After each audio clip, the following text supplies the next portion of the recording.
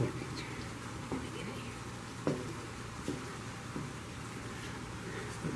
We'll do a good picture.